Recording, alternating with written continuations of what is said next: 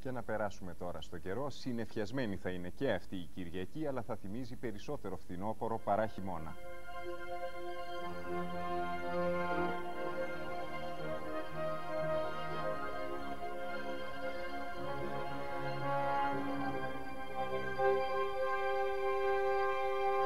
Πυκνά σύννεφα καλύπτουν τις βόρειες χώρες της Ευρωπαϊκής Υπήρου. Όπως βλέπουμε στην εικόνα του δορυφόρου, αραιότερες είναι οι συννεφιές στα δυτικά και στα κεντρικά τμήματα της Υπήρου. Το ίδιο και στα Βαλκάνια.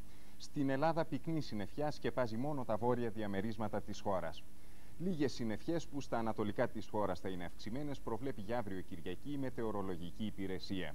Οι άνεμοι θα πνέουν από βόρειες διευθύνσεις μέχρι μέτρη στα δυτικά, ενώ στα ανατολικά θα είναι μέτρη μέχρι ισχυρή και τοπικά στο Αιγαίο πολύ ισχυρή που αργότερα θα εξασθενήσουν.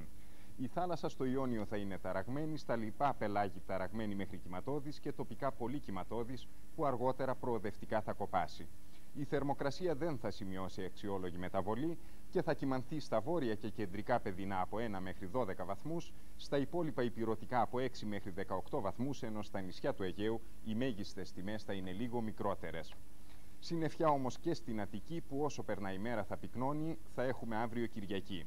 Οι άνεμοι θα είναι βόρειοι, μέτροι και πρόσκαιρα ισχυροί, αλλά αργότερα θα εξασθενήσουν.